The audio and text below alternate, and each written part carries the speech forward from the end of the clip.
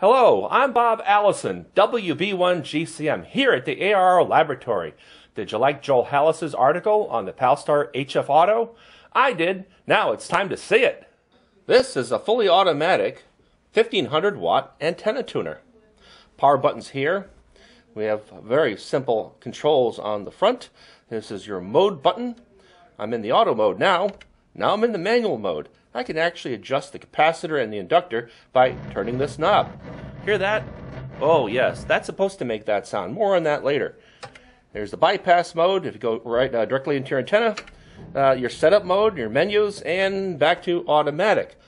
Wow, let's see how this works. I'm going to apply power about 10 watts. Here it goes. It's automatically hunting for the best SWR. I have a 1.03 to 1 SWR into a 50 ohm load now. Let's uh, switch the antenna load over to 200 ohms and watch it tune.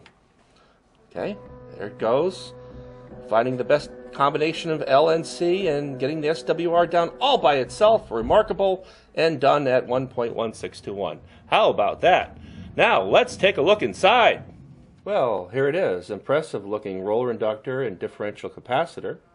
In the front part, we have the motors, the step motors that actually drive these. In front of that is a control module here. And in the back side, we have uh, antenna relays. There's three antenna positions on this antenna tuner. And over here, we have the sensor. Senses the power and the forward and reflected power.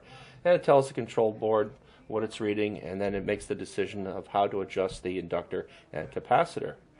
Hmm, looks shiny.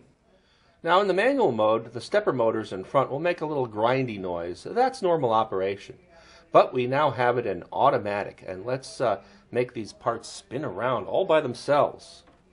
Here we go, turn the transmitter on, and change the load, and here we go.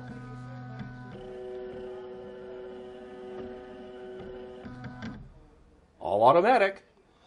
Here's the backside of the HF Auto. Ferrite cores here prevent any kind of RF while the antenna tuner is tuning from going down the DC power cable back to your power supply and to some of your other equipment. We have three antenna positions available to us.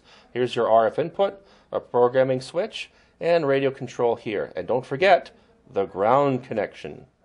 Now, as you've seen, there's no switching relays involved like other antenna tuners.